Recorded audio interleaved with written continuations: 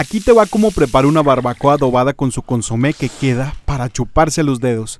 En un video pasado te mostré esta pieza de diezmillo que compré en Costco. La porcioné en cortes, pero saqué un buen pedazo para hacer una barbacoa adobada. Con un poco de mostaza se adhiere el sazonador con ajo, cebolla en polvo y pimienta. Una charola con agua para que haya humedad y un trozo de leña para ahumar. En una olla con aceite sofreímos ajo, unos chiles morita y cebolla.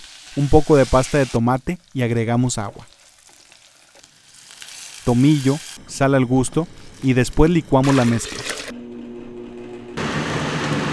Pasamos por un colador para retirar las impurezas. Después de una hora nos llevamos la carne a la olla express y vertemos el adobo.